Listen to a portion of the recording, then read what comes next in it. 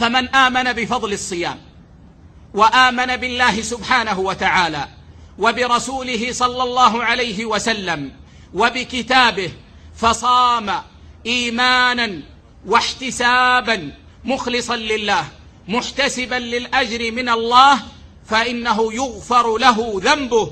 فإن من عباد الله من يخرج من رمضان بنفس نقية من الذنوب.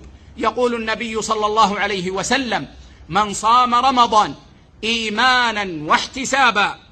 من صام رمضان إيمانا واحتسابا غفر له ما تقدم من ذنبه.